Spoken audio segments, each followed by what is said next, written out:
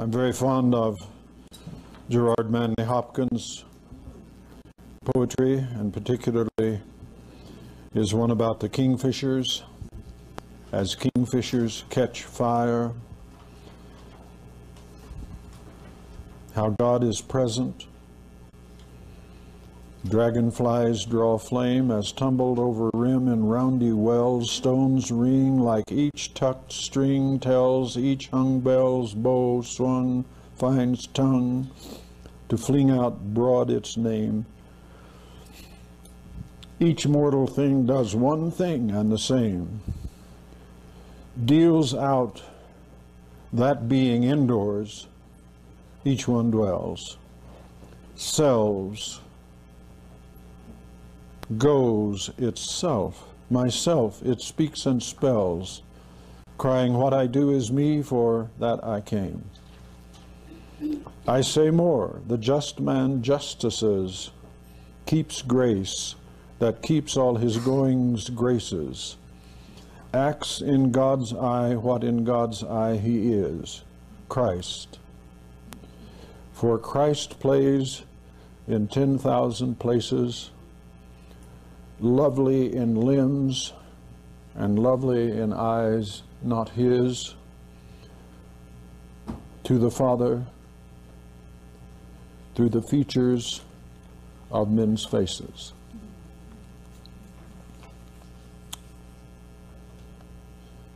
It is a wonderful thing that Christ is doing. A wonderful thing. And I have a few things still to talk to you about. Um, one of the things that I want to talk to you about is the role of knowledge in the role of knowledge in making disciples, living together in Trinitarian fellowship, and teaching people to do everything Christ said. Now, it is very difficult to teach anyone if you don't have knowledge. And we are in a period where knowledge is not only underdone but feared and opposed as if it were an enemy of faith.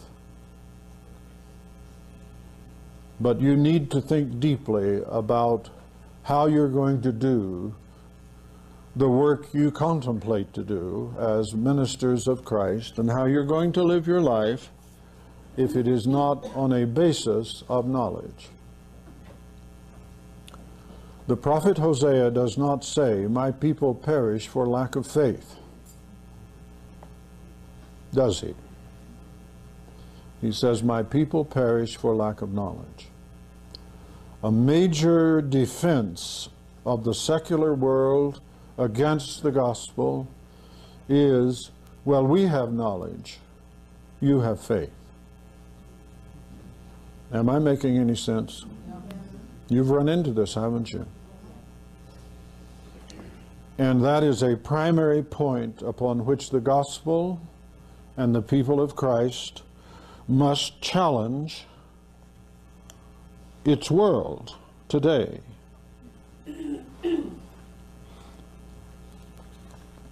So let's begin here just by making clear that these are different things, and then we'll talk about what they are briefly. Knowledge, belief, or faith, they're the same thing.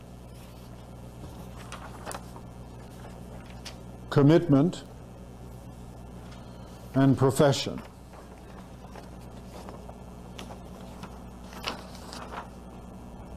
Those are different things.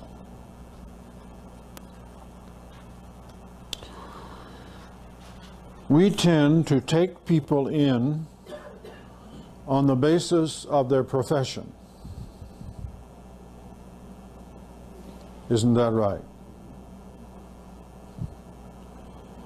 Upon the profession of your faith, my brother, sister, in Christ, I baptize you in the name of the Father, the Son, and the Holy Spirit. Profession. Well, maybe we'd better begin with knowledge and work down to that. But you will want to understand that if you're working in terms of this without the rest of it, you ain't got much. You may not even have commitment. And in fact, we're constantly struggling with commitment in our congregations, with having projects which our people are not committed to. Well, what are they committed to? It may be that they're not committed to much of anything. Or maybe they're committed to things that they don't really believe in. Hmm. That may explain why they're not committed.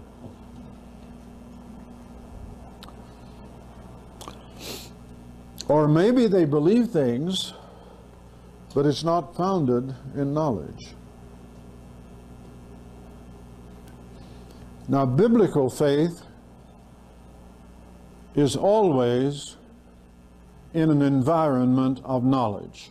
Always. The idea which modern thought, through a torturous process, has saddled the church that faith is a leap is ridiculous. What they call a leap of faith is a leap without faith. And you always find that out when you listen to them a little bit. Faith leaps on a basis of knowledge. That's how faith leaps. Abraham, in faith, went out not knowing where he was going. But he did that on the basis of his knowledge that God was with him. Am I making any sense? Okay. Now you watch the biblical record and you'll see that that is always the case. There are no leaps of faith. Job exercised faith of immense proportions, but it was on the basis of his knowledge. And we have to, in our day, really deal with this, or you cannot make disciples. Upon what basis would you make a disciple? If it isn't knowledge. Now, the standard way, I think, that people manage to stand up in the pulpit and proclaim, hoping that something will happen, is they believe that if they say the words in faith, God will strike people with lightning. And the miracle of faith will happen. Now, God does strike people with lightning, and miracles of faith do happen. But that is not the general context out of which one speaks and lives as a Christian, and especially not as a disciple of Christ. It's on the basis of what you know that you act, and when you act, sometimes in faith, your experience gives more knowledge and more faith. And that is the natural progression. Yes. To reconcile that with Ephesians 2, then, where it says faith is a gift, would you say that God only gives that gift to those after knowledge? Or how do you? How do you get it? How do you get faith as a gift? Without knowledge? With knowledge. Is knowledge ever more miraculous in its own right? Do you you strike one of the issues? Faith is a gift, knowledge is a what? Work. Knowledge is human, faith is divine. Right? knowledge can come by gift and miracle as much as faith. What Paul is saying in that passage is, You are dead in trespasses and in sins, and your coming to faith comes as a miracle. But now, what is missing here? If you want faith, can you do anything about it? How does faith come?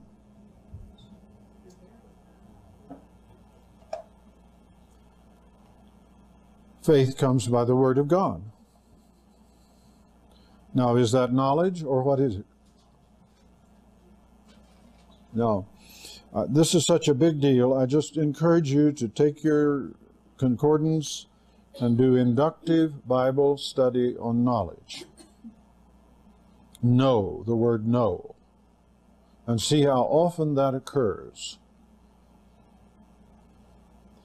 especially in relationship to what God does. And how many times it is said, I am doing this in order that you may know. Okay, now I'm, I'm hoping I've got your concept stirred up a little bit here, so let's pursue this.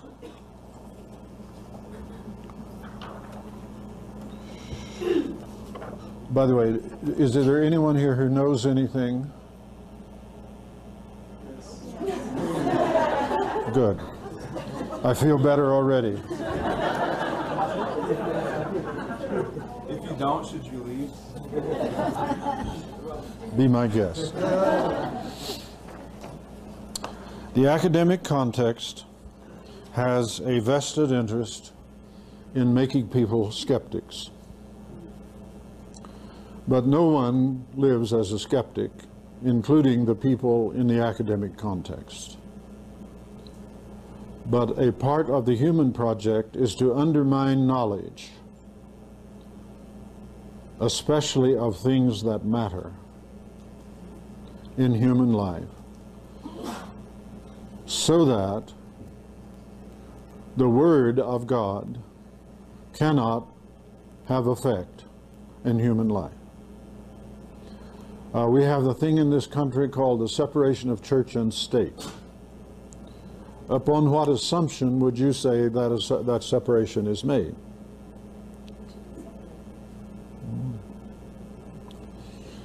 What, can you imagine anyone talking about the separation of state and chemistry?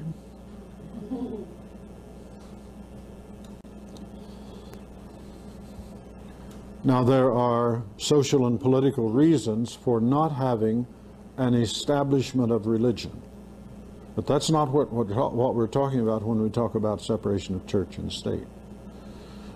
When people generally speak of separation of church and state, they are assuming that the church doesn't know anything important. It is predicated on the assumption that what the church teaches is not knowledge of reality.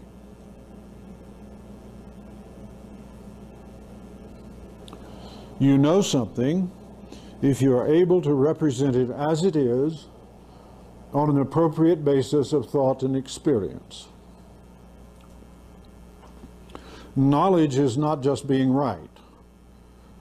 Knowledge has a foundation in evidence and method. When someone says they know something, they have stepped into the public arena because that bears the claim of truth and method. Knowledge requires method, and knowledge requires truth. Now, that's what you want in your dentist, don't you? You'd like them to know something. You wouldn't take your car to a shop that said, We're lucky at making repairs. you want them to know something. Often they are lucky, and sometimes unlucky. But that's not what you go there for. You want people who know in this sense. This is what knowledge is. Now you need to understand that, folks, because the confusion about it is what the resistance to the gospel thrives on. I say, well, you know, if it's not knowledge, well, you can just take it or leave it.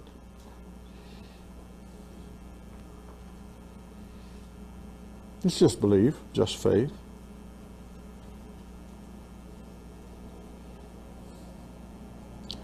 Now, a belief, idea, statement, proposition, or whatever is true if what it is about is as it is represented in the belief. You believe you have a dime in your pocket. The belief is true if you have a dime in your pocket. Now, beliefs can be true without constituting knowledge. You pick up beliefs by the people you're with. Little children come to believe most of the things they believe just because the people around them believe. That's a good thing. You wouldn't want them to have to wait until they could know. And we arrive at maturity with a set of beliefs that we've picked up, and then a large part of our responsibility is to sort those out and to find which ones are true and which ones are false. We learn things like, well, it wasn't true just because my folks believed it. Belief never makes truth. Never makes truth.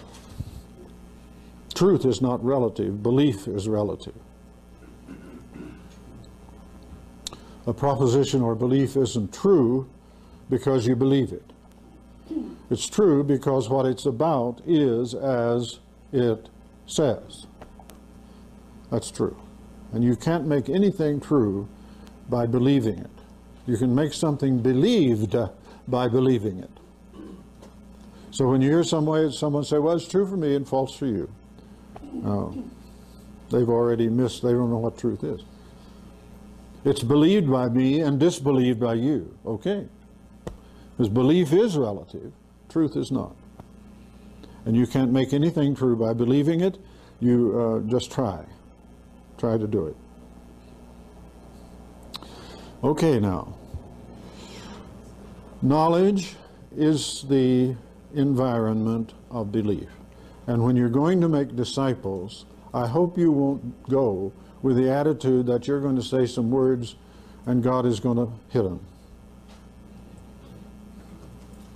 It won't work. There are occurrences where something like that happens, but you cannot adopt it as your modus operandi. I will say the words and God will hit them. Many people actually believe that. That's where they take on that passage in 1 Corinthians 1 where Paul is talking about the foolishness of preaching. Preaching is only foolish in comparison to what the Jews and the Greeks thought was the way you're supposed to proceed. And in any case, it doesn't say the foolishness of the preacher.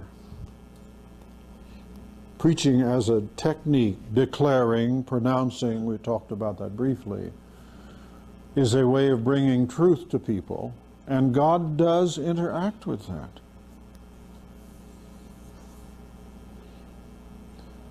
What I'm saying to you is don't adopt that as your modus operandi.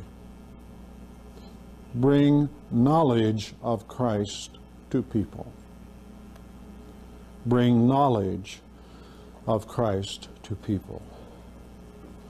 That means you have to have it first. And if you have it, it will come to people in a very different way because knowledge is a totally different kind of thing from belief.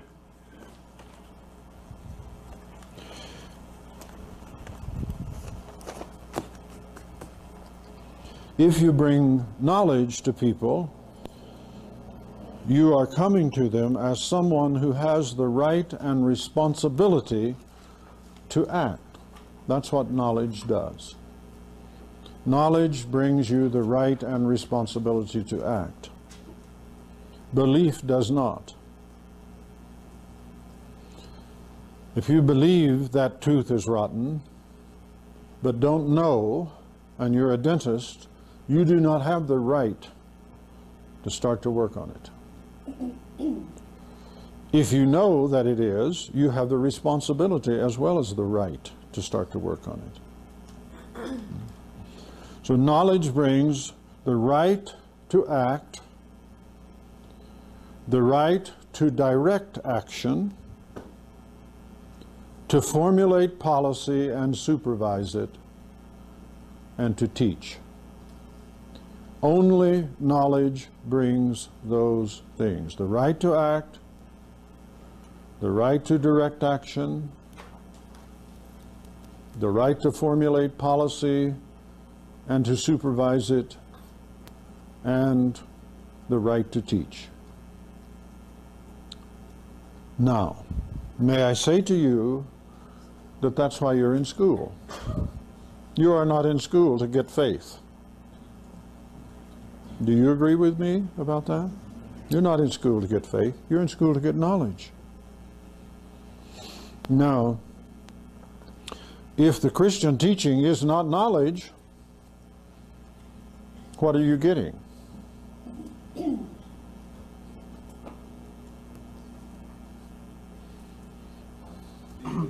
Hmm?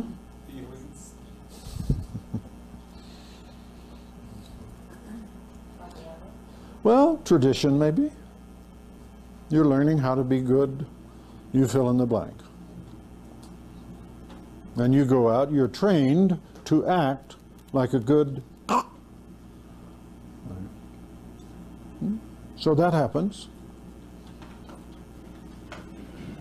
Not everything that people think is knowledge is knowledge. You can think you know and you don't. That's common occurrence. So you have to be careful.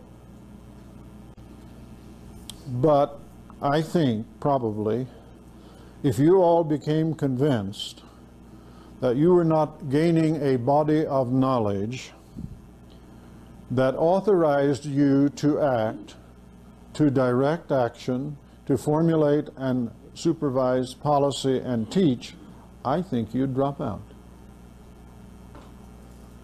Now, some of you might say, well, no, but I want my credentials. See? And credentials don't necessarily represent knowledge. You can be credentialed and have a thing sign on your, on your wall that says, I'm Mr. Goodwrench, because I've gone to school, and still not be able to fix cars. Credentialing is one thing, enablement is another. Now, I'm dragging you through this because this is absolutely essential to making disciples. You have to have decided that you are dealing with knowledge.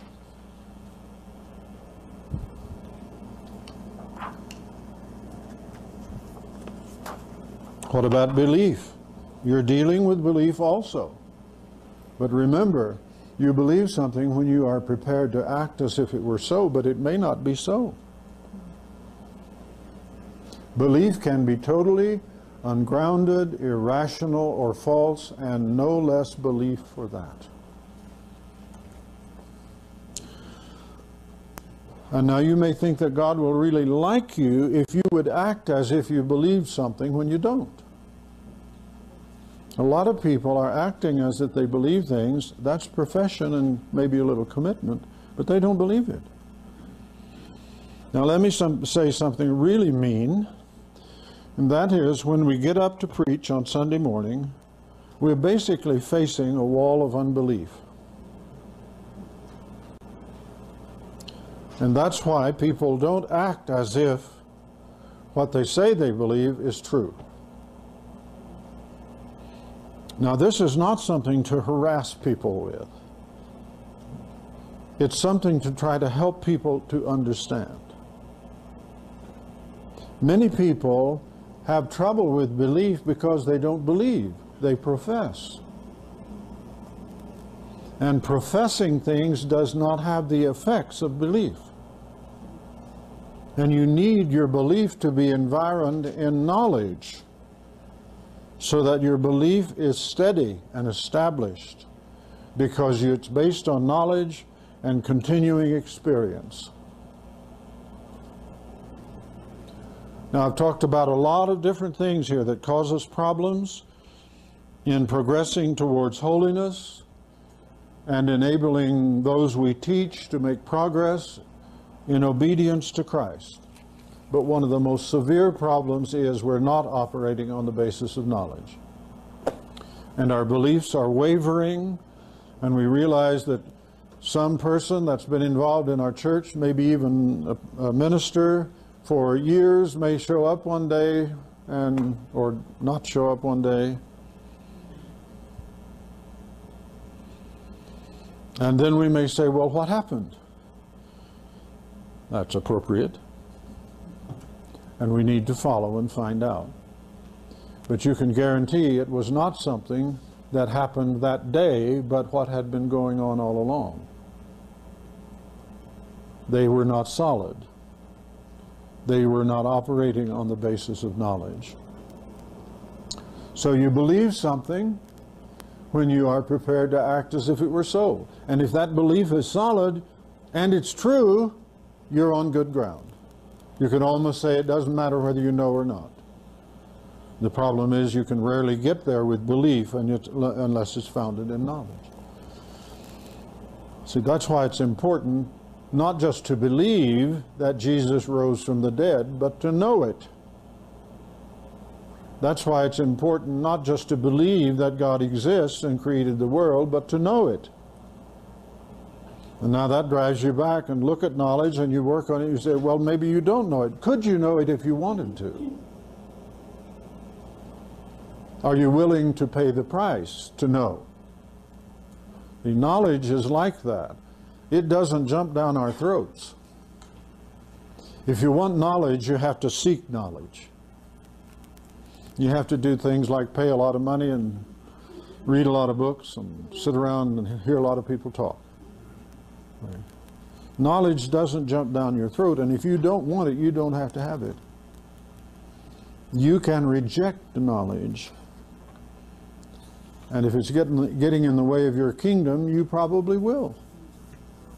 That's why people fear knowledge today and don't want to hear people say they know, because if they do know, that has a claim that if they say, well, I believe, it doesn't have. What part does experience play in knowledge? confirms knowledge, advances it. Right? I mean, that's that's we we learn, we know most of the things we know on authority. For example, you all know the multiplication tables.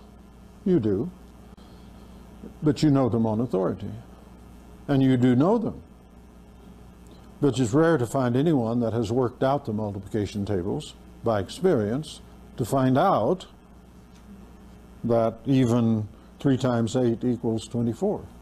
If, if you know it but haven't experienced it, how how solid is it? Well, there's no, one of the problems is that people try to give completely general answers to those kinds of questions. And we know that pe some people know some things better than other people do. And then some people don't know them at all. Typically, what happens with the learning process is you have some people who know things and others who don't. Maybe they just believe them. And then as they proceed, the people who didn't know them come to know them.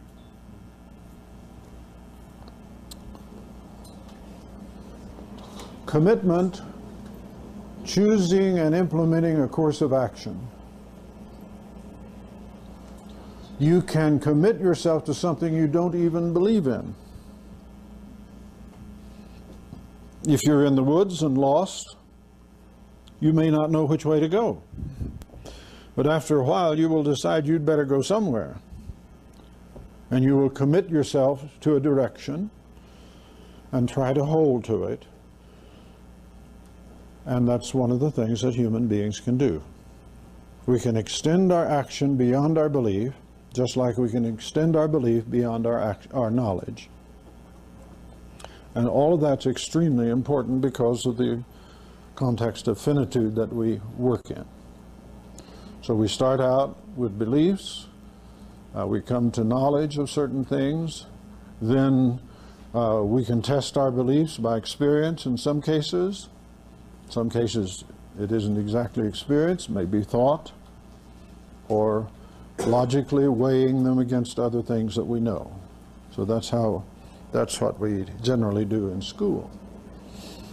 But profession is saying that you believe something. You may believe it and profess it. That's good. Or you may not even be committed to it and still profess it. So you need these four concepts knowledge, belief, commitment, profession. And you need to understand where you, where you stand, where I stand, and then you need to help others deal with that. And what you're aiming for in making disciples and in guiding them is that fundamentally everything would be based on knowledge as much as it can. Now, again, you don't have to know in order to believe. There are a lot of things you better believe even if you can't know them. God is at work in all of these areas, not just in one of them. Knowledge has drawbacks. Paul talks about these. The two main drawback, drawbacks is you never know anything as well as you could. Right? You never know anything as well as you could. If anyone thinks he knows something, Paul says they don't know anything the way they ought to know. And that is to help you not get carried away with arrogance. Because knowledge has a tendency to do that. You tell a little child who's just learned to talk something they did not know, and they are most likely to say, I know. You test it. Now that's because knowledge is a really big thing in the substance of the self. To not know is to be left out.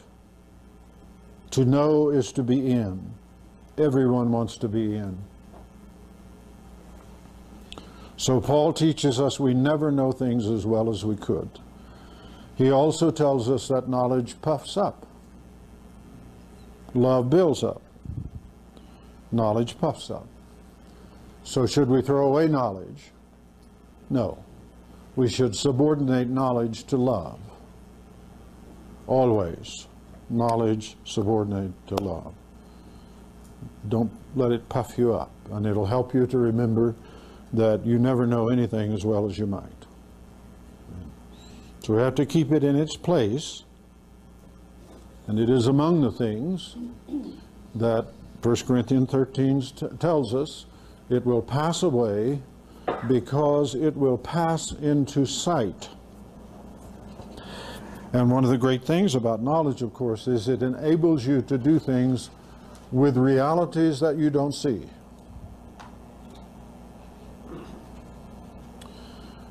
Truth is designed by God to help us negotiate reality. If you have true beliefs and your wits are about you, you will be able to negotiate reality well, as far as it's dealt with by that belief. Now, um, knowledge is important. So if we're going to make disciples, we want to make sure that insofar as we can, we're basing it on knowledge.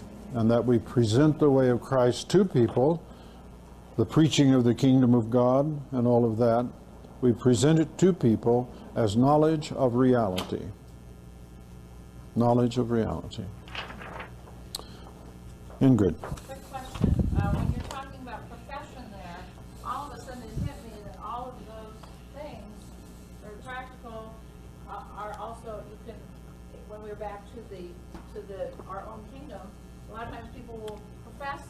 Love someone without the commitment, without the belief, without the knowledge. Right. You could take that all the way back up that way. Yep. too. See, profession ha- is often done to, mani- to manage our kingdom. And sometimes it's deadly serious because if you don't profess something, someone may kill you or deprive you of your job and your opportunities. See, that has happened over and over, right? And that's one reason why profession has come to play such a large role in Western religion, but it actually plays a large role in all religion. So people may profess things that they don't believe, nobody knows, and they're not committed to. And that's why I gave you those four things. I want you to see how it changes as you go up. Now, there, a lot of this I don't want to get into, but you want to think thoughts like this. You can actually not believe some things you know.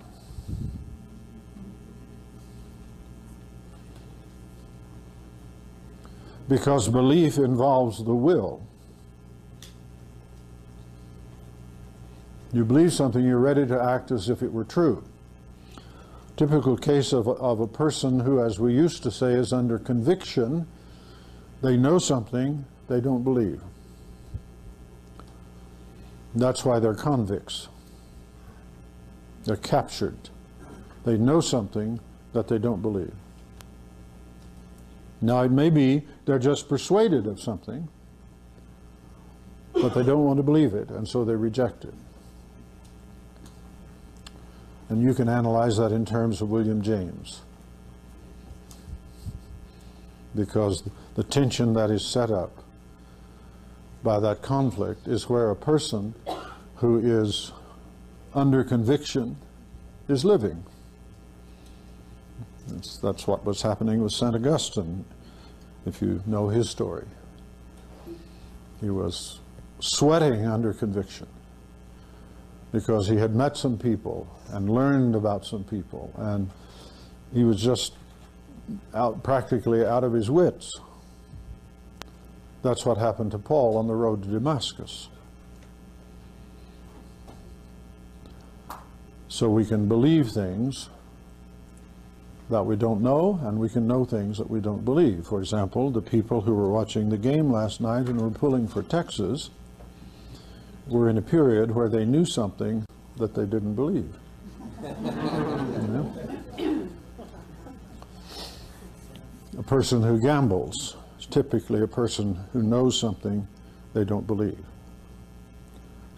They know they're not going to win, but they believe they are. So that's just, um, I have hardly begun.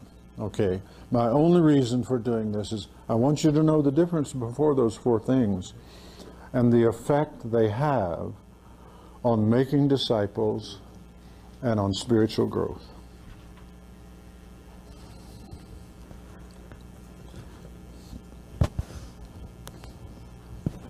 It's important for you to think the thought that in your program with Howard and your school, that what you are receiving about spiritual formation and so on, at least is potential knowledge.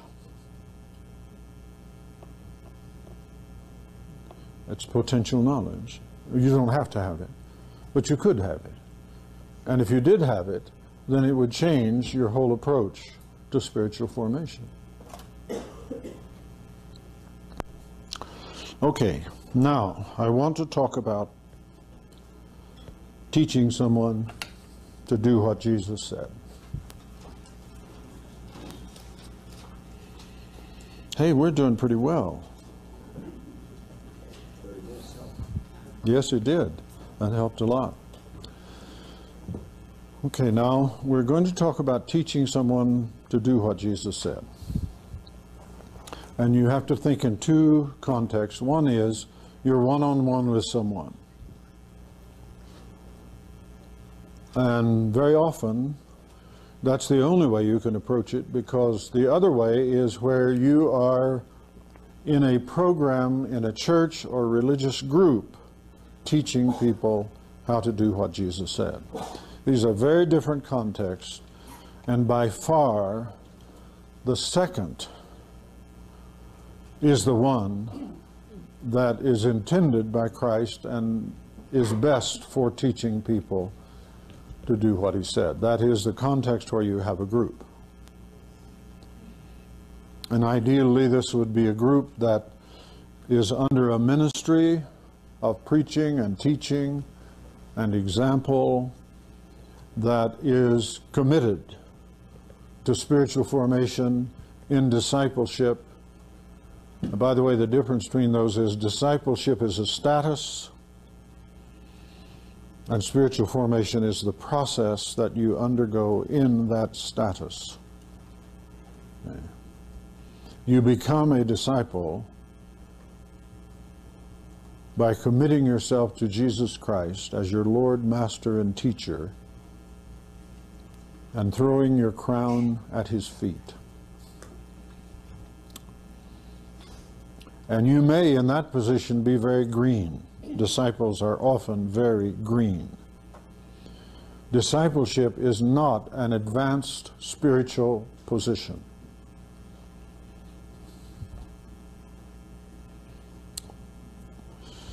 But it's a hopeful one.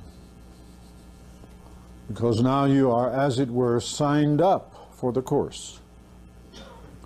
And things can begin to move. And that's intended to be a communal thing. It isn't intended to be just an individual on their own. But in many circumstances you're in, you may have to do it with individuals, and it can be done. Now, if you're starting one, you might try that. Start it on the basis of discipleship. But if it's not started on that basis, you're going to have a hard time turning it around. And people are going to be mad at you if you try. Of course, that's not the end of the world. But you need to expect it and not say, well, I thought I was doing something good. I thought everyone would just get up and say, whoopee, let's do it. They won't. But in any case, those are the two contexts, and I want to say something relevant to both of them. Okay? So now let's let's put a few things in order. In order to teach someone to do what Jesus said, they have to be disciples. So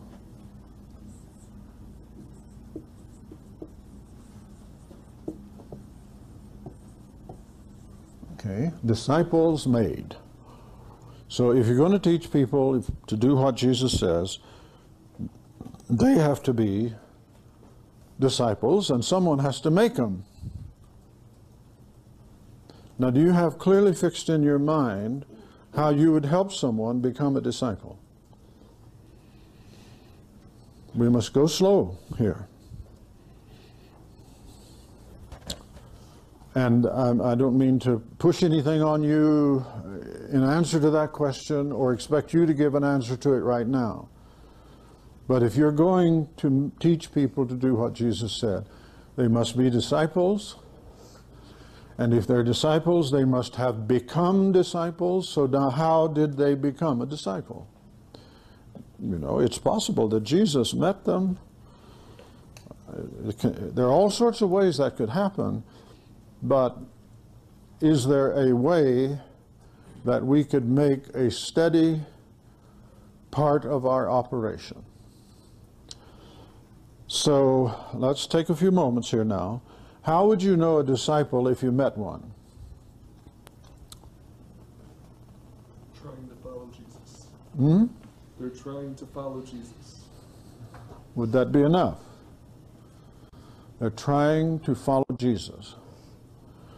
Don't we have to go a little more into the details of what that means? Don't assume what I didn't say isn't included in But I'm trying to got, I'm trying to get you to say what you didn't say. So what what was it you didn't say?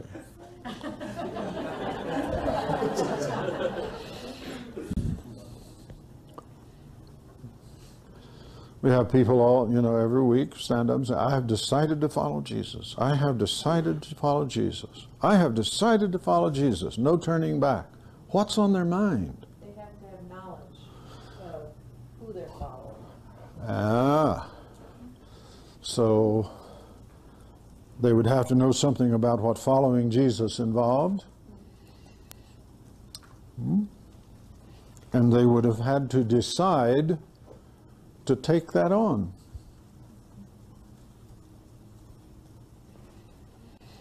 Now compare it to being a disciple in other contexts. Let us suppose that you've decided to learn French and you now have selected a teacher. What have you decided to do with reference to that teacher?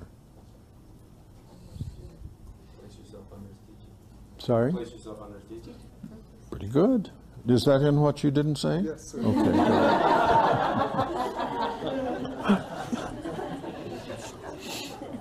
Now, I, I like to try to put that by saying, I'm going to be with them, learning to be like them. That's what I'm going to do. I'm going to go to my French teacher. I'm going to be with them. Now, of course, today we can use tapes and all sorts of things. But basically, when you are a disciple of someone, you are with them, learning to be like them. Now, in this case, it's a certain respect, like them in their capacity to speak French. A child in third grade is with their teacher, learning to be like them in their capacity, for example, to multiply and divide numbers. They're taking on the character of the teacher in that respect. So now, maybe we could identify a disciple of Jesus as someone who has decided to be with them, learning to be like them. They've decided to do that, and they are arranging and rearranging their affairs to make that happen. So let's let's add that on now. Okay, they've decided they they've decided I'm going to be with them, learn to be like them, and I'm going to arrange my affairs to do that. Simple cases, I, I show up for class. Yes. Not just be with them, but be attentive to them. You're going to have to be attentive to them if you're going to learn to be like them, aren't you? You don't sleep through class. You do the exercises. So this will become more and more specific. Now we have to pause over this and make sure we got something. A disciple of Jesus is someone who has decided to be with them, with Jesus, learn to be like him. That means they're arranging their affairs so that will happen, uh, all the way down to paying attention. And uh, if you see someone like that, you're looking at a disciple of Jesus.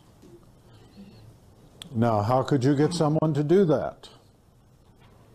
Well, that's where you have to go back to the vision model, uh, the VIM model. You only make disciples in the light of a vision. A person who is going to disciple themselves to someone to learn French There's going to be someone who is convinced it would be wonderful to speak French. So the vision here is the gospel. And for a moment we can stop there and go back and realize, well, which gospel? We want a gospel that will provide a basis for making disciples. Okay? Of life now in heaven with Jesus.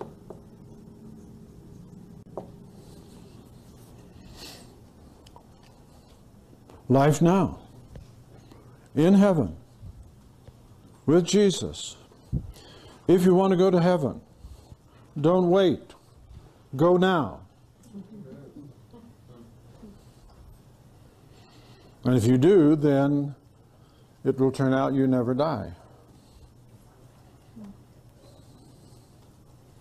We've got to make sense of that somehow. So in the context of uh, teaching people to do what Jesus in the setting that we're talking about, we need to uh, first assume that they are disciples, which on the VIM pattern would be. That's why we're starting here. Yes. Would- It would be, I'm asking, they would have the vision and the intention, and now we're discipling them in the means? Absolutely right. And this is why, because you can't go down that road if you don't start here. And this is messy. This is a messy business because people hear so many things. And this is going to take a lot of straightening out in most people's minds in our culture because what they they've heard as the message of the church God only knows. Because it isn't just a function of what was said, it's a function of how they heard it. And uh, you, in, Jesus, in the Gospels, you know, Jesus had a constant problem with people who heard a message and got whoopied up, and, but they weren't on for what it was really about. And you know how that causes problem, caused problems over and over. It's one reason why he would say when he'd heal someone very often, don't tell anyone. Because he knew that they would take that wrongly. Because what they had in their heads was something about the kingdom of God and the Messiah that was false. And it wasn't just people wandering the streets. I mean, he had the trouble with his own apostles to get that straight. And then he had problems when he fed people with getting them to understand that it wasn't just about bread. Labor not for the meat that perishes, he said them, but for the meat that lasts unto everlasting life. And so this is this is really a, a difficulty. Now, look, we don't have to be perfect in any of this. We don't have to have it all perfectly straight, but we have to have enough of it that will allow us to make enough of an intention to start seriously practicing being with Jesus, learning to be like him. That's the focus, okay? That's the focus of the disciple. And I really want to emphasize because so often we get stuck on getting it all just right. You don't have to have it all just right to be a follower of Jesus. Your intentions do not have to be perfect. Not required. But there has to be enough substance at both of those levels that will enable us to arrange our life to become like Him. Could you clarify something? I know a lot of the, the gospel of like the prosperity gospel does concentrate on what God is doing now and not just when you get to heaven. Mhm. But what emphasis is going wrong there uh, in, the, in that gospel? What's wrong with that gospel is it really says nothing at all about becoming like Him. Now, that's not fair to some people who preach it, but generally speaking, that's the tendency. That's exactly the response of the people around Jesus in his day. You could get elected real quickly if you could turn a few biscuits into a bunch of bread. And they almost they came to make him king by force. Yeah. Nothing wrong with prosperity. But if that becomes what is at the center of your hopes, you're on the wrong train. Yes. to connect what we started with this hour, um, a disciple is someone who has knowledge, belief, commitment, and profession. No, no, no, no, no, no, wait, wait, wait, wait, wait, wait.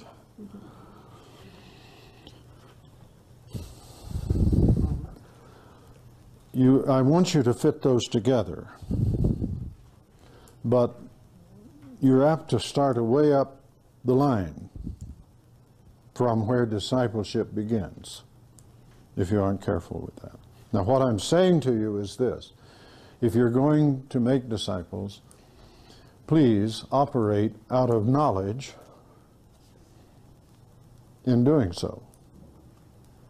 That will involve belief also, some commitment and profession. But you do need to have knowledge as a basis for you making disciples. And that uh, will involve you communicating knowledge to the individual. And that will be partly miraculous, and it will be partly because you've worked real hard to be able to present that to people as knowledge. In the corner and then next. I, I have a real hard time hearing out of that corner. at what point does the surrender of the will, your will, not mine, your kingdom, not my kingdom, at what point does that happen? It happens. Making of a disciple. It happens when you become a disciple. You cannot become a disciple unless you do that. Now later you will find out that you did you had no understanding of what it meant. So that's where you remember discipleship is a status. Now and thank you for asking the question. This is why Jesus says if you don't hate your mother and your father and blah blah blah blah in your own life also, if you don't take your cross daily and follow, you cannot be my disciple. That's very important to understand. But now then you understand that discipleship, as I say, is a status in which the process of spiritual formation occurs.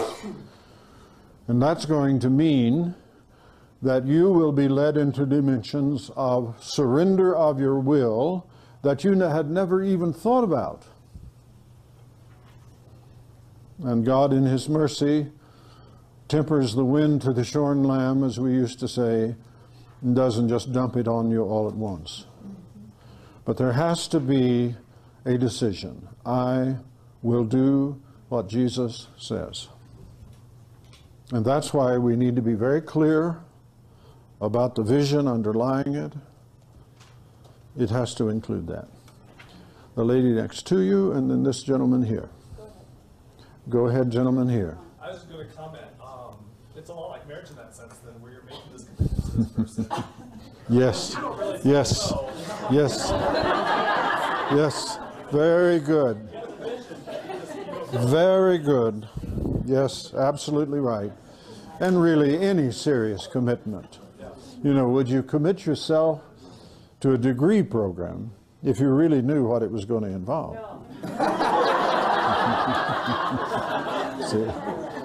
So you step in, and grace helps you step in, and then grace is with you as you go along. And that's how it works. Great. Yes. Yesterday or the day before, you mentioned that uh, not all Christians are disciples, and I'm having a hard time with that. Haven't you known some that weren't disciples? I would say if they're not a disciple, they're not a disciple. Okay. I, I would say don't say that too loudly, or you're going to have a bunch of people on top of you like that. and, but I can't make that judgment. I, I don't, I, as I look upon somebody, I probably can some, at some level, Now, why can't you make that judgment? I can't look into their heart. like You can't tell whether or not a person is a disciple? Okay, let's go. Now, what is a disciple? A disciple is of someone is someone who's decided to be with a person, learning to be like them. Could you tell whether or not someone is, was a disciple of a French teacher? Could you tell that? Suppose they, suppose they uh, never go near them, don't listen to them, don't practice what they say practice, and so forth. Would you say they are not disciples of the French teacher? Now, I appreciate your sensitivity, but one of the things you have to do to help people is to make a judgment. Many people are disappointed in the Christian life because they are expecting from it what only comes to a disciple, and they're not a disciple. Okay, but I want to ask a clarifying question. Uh-oh. May be living in a place of commitment Okay. and belief. Right? And so that's the only way I'm able to make a judgment faith based on what is seen by observing them. hmm For me to be able to look and to peer into their heart is another issue. So I- Okay. I, I take it, I'm careful. Well, I'll just leave it. I appreciate your sensitivity and just leave it with you. Um, I understand what you're saying. We can't look at the heart. Man looks on outward appearance, God looks on the heart. In a position of leadership, you are apt to have to decide whether or not a particular individual is a disciple or not. The consequences of being a disciple are different from the consequences of being someone who is committed or professing. The consequences are different. Yes. Oh, I'm just wondering if in theory then you cannot have a bad disciple. You can have very bad disciples. Jesus had crowds of bad disciples. But then in, in a sense, they weren't really intending to live like him. No, you have to add the time factor in there. Whether they become not bad disciples depends on what they do.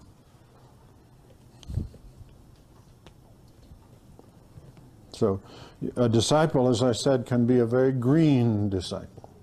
Peter was a very green disciple. Jesus even called him Satan.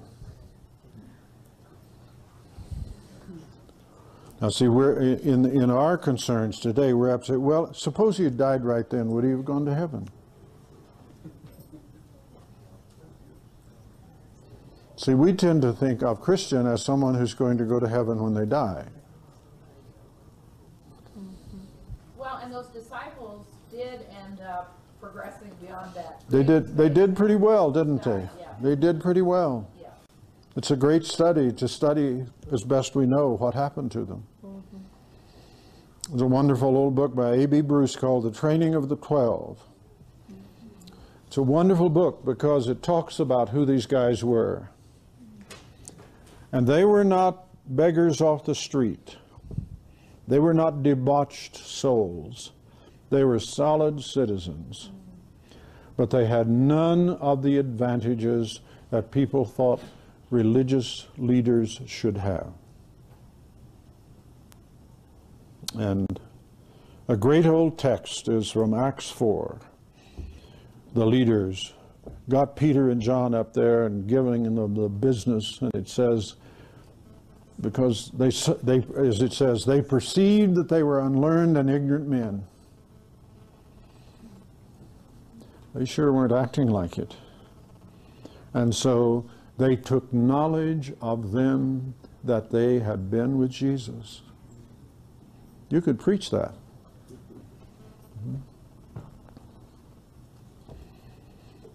Now, that's one of the things I'm bound to run out of time. When we think about the church, the local congregation, we want to think of it as a hospital.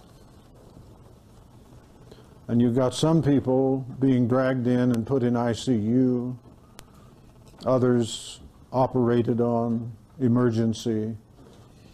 Some people getting up and walking down the halls, others rolling out in a wheelchair. That's the church. And if it's a church where there's discipleship, not all the niceties, don't worry about that. That's okay. That's good. That's the way it should be. That's the way it should be. Jake. Um, two questions. I wonder if you could just finish that thought. You said, we tend to think Christians are people that are going to heaven. That, well, I'm just saying, I think that's normally what people think. Okay. And then they have to decide that, whether or not they're going to do that. Okay, and secondly, um, I think that a lot in our culture, we look at the, Jesus' teachings on judgment, Mhm. that totally in the wrong way. It's like, I mean, there's, there's multitudes of different ways people, people take that. Um, I was wondering if you could maybe clarify what, in that particular, he's saying, do not judge, lest you be judged. Okay. Well, let me refer you to chapter 7 of the Divine Conspiracy, but talk about it a bit. What Jesus says is don't get in the condemning game. In Matthew chapter 7, he's talking about what I call condemnation engineering. And that is give the holy stuff to them in a way that will make it clear to everyone that they are worthless. And then you do that, and they'll give it right back to you, which is exactly what happens. So get out of the condemning game. Judgment, unfortunately, has two meanings one is discernment, and the other is condemning. And we have managed, by a clever perversion of Jesus' teaching in our culture, to turn discernment into condemning so that we condemning we can condemn the person who's making a judgment about us. And that supposedly will shut him up. But that's a perversion. Jesus is not talking about discerning in Matthew 7. He's talking about condemning. He's talking about people who try to help people by condemning them. That's a human trait. Just condemn them, make them feel guilty, worthless. That'll motivate them to do what we know they ought to do. So that, those verses that open chapter 7 of Matthew are about engaging, indulging in condemnation. There are many ways of doing it. One is to give them really good stuff that won't help them. And then say, well, you're worthless because I gave you this and it didn't help you.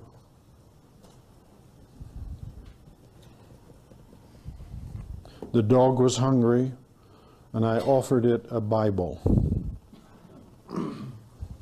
The dog didn't eat it, it was still hungry. I had pearls, and I took them out and put them in the trough for the hogs, and the hogs didn't eat them. And then one day I stepped in there to give them another bucket of my pearls, and they saw something edible. it was my leg. Jesus is teaching us in that passage don't get into condemnation. Don't go there. Don't even get into it in the way of giving your precious pearls to people who can't use them. Hmm. Okay? Good, thanks. You can't make disciples or help them by condemning them.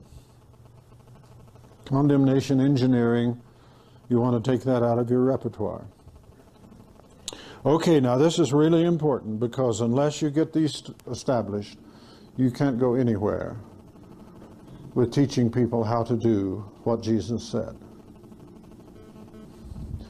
Once you have got a student with a vision who really does believe this would be a wonderful thing, then you can begin to teach them. You need to start with where they are and what they're concerned with. Now, this could be uh, anger. That's a good place to start. Contempt. You have a man who means well, but he cannot keep from yelling at his son. That'd be a good place to start, wouldn't it? Very likely, if he is a Christian, he thinks he ought not to do it. But that child is so exasperating, so stupid, and really wants to hurt me.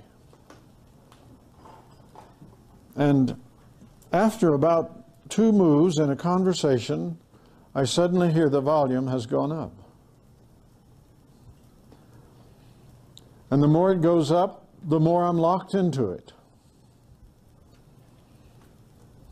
Actually, that's a typical progression in anger and dealing with others in anger, and then they deal with you in anger, and there you go.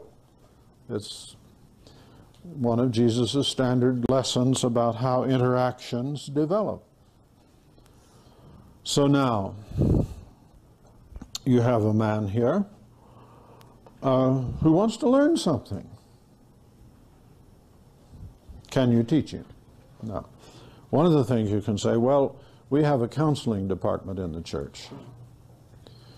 And that's not bad because what has actually happened is Christian counselors have been forced to take up the slack that is left in a situation where the ordinary course of events is not teaching people to do the things that Jesus said. And uh, it's not an altogether bad thing by any means. And a lot of good is in it. Uh, but it does depend on whether or not the counselor is going to be able to help them or um, and how they help them. Uh, and in particular, whether or not the person will be able to learn how to do the, not do the things that are causing him trouble and to do the things in the absence of which are causing him trouble. So have you got a way now of teaching someone not to be angry? That's the general idea of Jesus' teaching. Uh, so now, what, what are you going to do with him? The first thing you're going to do with him is help him to understand what anger is. That's the first thing you're going to do with him. And actually, for some people, that will be enough. Because a lot depends on the individual, but many individuals are well enough put together in the grace of God and in their general health that once they see what anger is, they will drop it like you drop a hot poker. They'll drop it.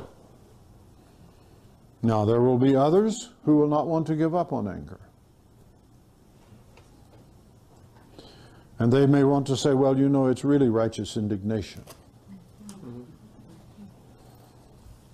And then you have to go into that. You, teaching now is a really important part of this. Whether it's lusting, anger, using language to say a yes that is no, or any of those things. The, the absolutely next stage after this is to help them understand what it is. Now, if you've got a group, and I, I, would work for that, and it's possible, especially if the pulpit is teaching about this. Not, it's not always the case, because you may have the preaching pastor who's not on board for any of this. He's got something laid out, he or she does, and they, they've been doing that for decades, and they're not going to do this. But if you've got a pastor who's on board, then they can teach about anger.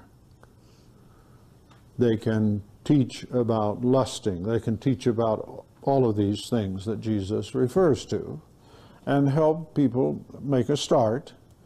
And then they could say something like this. They could say, we're going to have a, eight week, three month course on how to deal, how to not be angry. I, would put it that way, not in anger management. All right. Okay, that's.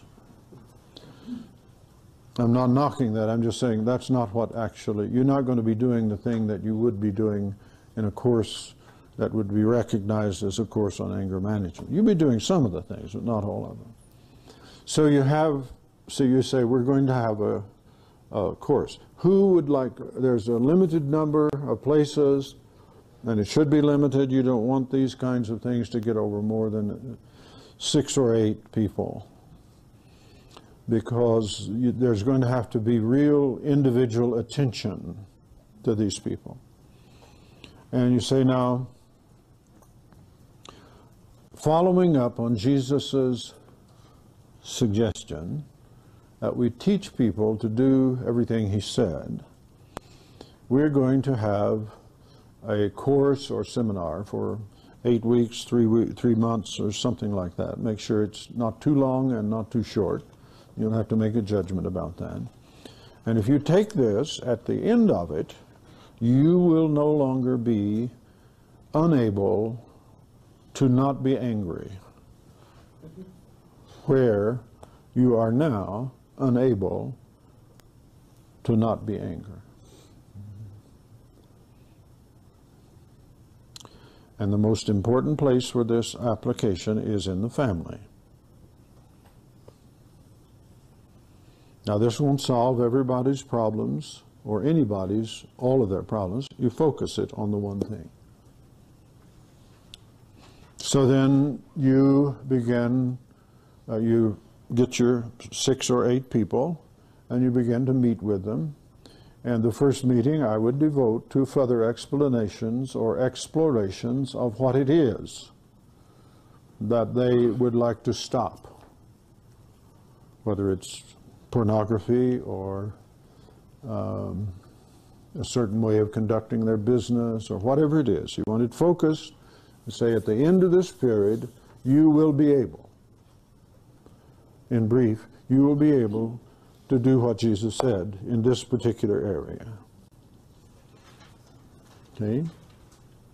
So that's the next stage now after explaining, helping them understand what anger or so forth is, is you get them together in a group, you try to help them make clear that they understand what, what it is. Now then, uh, you send them out for a week to identify anger. Uh, maybe if you if you like the specific form of cursing and blessing, bless those who curse you. You have them observe cases of anger. To just watch how it works. Doesn't need to be in them, they can do that, but watch it in other people. Come to know how anger actually works in real life.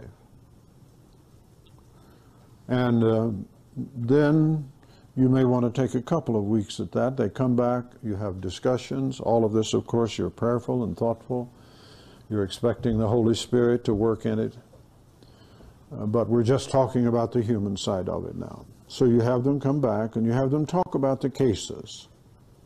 You really want to get the stuff in front of them where they see it. And then, when you feel like you have got them clear on that, you begin to deal with the roots of anger. Why do people get angry? Start with the cases. Here's a case. Someone's driving down the freeway.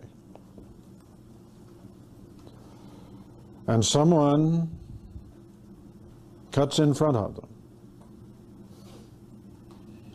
And now a little festival of finger flicking breaks out. Mm-hmm.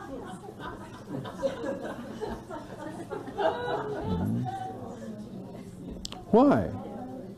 Why? What made that happen? And you see, you can only proceed beyond this by identifying the causes. You identify the causes and you deal with the causes, and that's what allows you to step free of anger. That's true of pornography. That's true of any of these things that people tend to just get so hung up on and so beat up on that they feel like they can't make progress. So, that next stage, after understanding, is looking at the causes, the roots of it. People don't get mad for nothing. It doesn't light on their head like a bird. It comes from somewhere. Where did it come from? And that's where they will be able to identify something probably much broader than just the issue they're dealing with. Because you see, you have individuals who practically undergo a personality transformation when they get in a car. What's that tied to? It's tied to increased power. So that when they are crossed, their will is crossed, there is in them a greater reaction. Now, then, you may want to talk about advertisements for automobiles at that point. How do people sell automobiles? What do they appeal to in selling an automobile? Power. Power. And that is ego stuff, isn't it? Where egos, I go. Mhm. Power enhances ego. Ego is about kingdom. It's about ruling. It's about reigning, about having my way. And seriously, I mean, you can take a, a week or two and just have people look at advertisements for automobiles because that's directly related to anger in driving. Directly. Now then, the next stage would be to get them to thinking about why do I need that? Why do I need that? Because it's rooted in their need. Why do I need to have my way? And now we, at last, we are to the root of the problem. And if you can turn that so that a person, not only in their head, but in their body, doesn't have to have their way, you will have cut the roots of anger.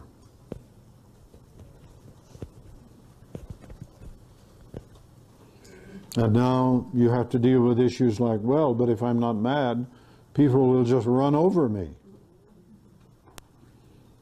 There are other ways of handling that. You have to re-educate some people. And if the other guy in the car starts the finger flicking, you don't you just wave that on because you're probably not going to be able to do anything about him unless you run into him and have to spend some time with him. Know. So, but really, we do have to re-educate people. We have to leave leave time for that because if they are used to running more or less with anger, then they won't run without it. And they will think that if you don't get mad, you don't mean what you say. They will think if you don't get mad, maybe they're going to get to have their way. But those are different issues. Now, if you're dealing with pornography, you've got different sets of issues at that level. Like, for example, how am I going to manage to have enough joy in my life if I don't do this?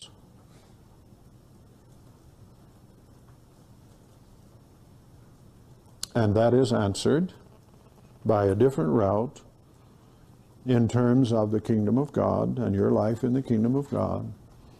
Take some instruction, but it can be answered. Okay? So now, that's sort of the way you go with training. If you have to do it with an individual, it's a little more difficult. I think it takes longer. But it still can be done. You always have to start with this, individual or not. But I have, I have watched it. I've seen it for years. It works. It can be done. You don't have to have a list of things like I went through because a lot of it will be taken care of by the intelligence and grace in the individual that's doing it. Basically, for many people, serious, mature Christians especially, as we would understand that, taking allowance for the fact that they may not have been disciples, um, they tend to move quite quickly. And very often it's simply a matter of saying, you know, there's a way you can do this. Would you like to be rid of that? Or would you like to be able to do that? Yes, I just didn't know you could. Right? And once you say, make sense of that, give them a little progress, they take off. And they come to the place to where the things that used to tie them in knots or send them off like a rocket, they simply look at it and say, Who needs that? Who needs that?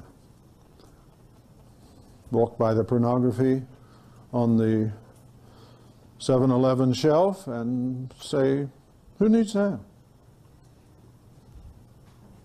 Look at a donut and say, Who needs it? Not defiantly, you know, not whistling in the dark. They really realize they don't need it because they've got something else. And then you've got a person who will easily and routinely do the thing that Jesus said. Now, just this one other point, we'll take a little break. You don't have to teach them everything that Jesus said. By the time you've done two or three, they will have gotten the idea and the heart of their difficulties would have been broken, and they'll do the rest. They need a little instruction, a little help from time to time. That should be ongoing, especially in a community of believers. And I know this is an ideal situation, and we'll talk a little more about this after the break.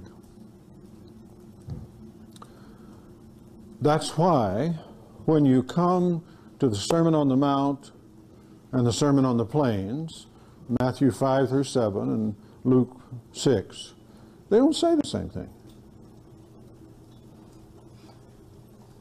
Now that's a dead giveaway that it's not law. When you do law, you say the same thing. Go to law school and find out what it means. Now, you may purposefully try to develop something, but law is essentially where you say the same thing. So you don't mess with the Ten Commandments. Actually, the versions you get in Deuteronomy are a little different. But you're into a life and a spirit here. So when you read Galatians 5 and you read Ephesians 4 and 5, they don't say the same thing. And you read Colossians 3, they don't say the same thing. Why? Because all you need to do is get the thing going, and the details will take care of themselves. So if you can do one way of stating it, let's say in Colossians, you can do the others. And you probably will, without thinking about it. Now, this is Christian liberty under the Spirit of God in its fruition in life. Well, I think I'll stop there. We'll take a little break and then we'll wrap.